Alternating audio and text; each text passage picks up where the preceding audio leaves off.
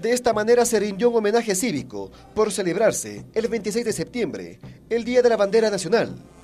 El acto contó con la presencia de colegios y escuelas de la ciudad. Como parte de este homenaje, se entonaron las letras del himno del Ecuador, a lo que se iban izando las banderas. Hubo también el toque de trompetas y un minuto de silencio.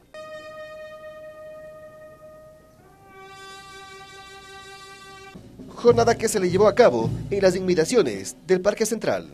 Este teniente coronel del Estado Mayor recordó esta fecha histórica del 26 de septiembre de 1860. El presidente de la República, Gabriel García Moreno, por decreto supremo restauró el uso de la bandera tricolor con los colores amarillo, azul y rojo. Es uno de los símbolos patrios que hinchaban y nos llenan hoy con orgullo nuestro corazón y todo nuestro ser. El gabinete provincial presidido por el gobernador Humberto Cordero rindió homenaje a este símbolo patrio, además exhortó por un mayor civismo. Con qué amor flameas en nuestros corazones, mi querido tricolor. Santiago León, el informativo.